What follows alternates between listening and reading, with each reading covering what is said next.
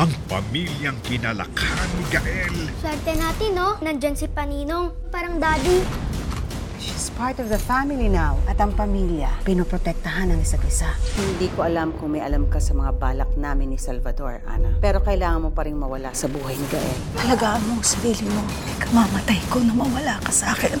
Having a complete family is the best political publicity. Asintado. Ngayong lunes na after showtime.